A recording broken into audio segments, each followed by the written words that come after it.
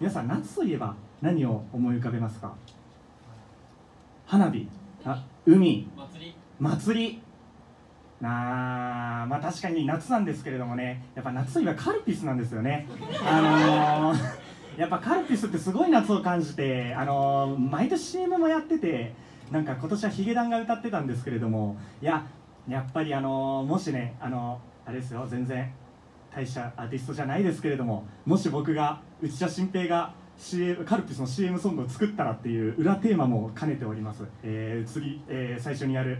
「夏の呼び声」という曲を聴いてください。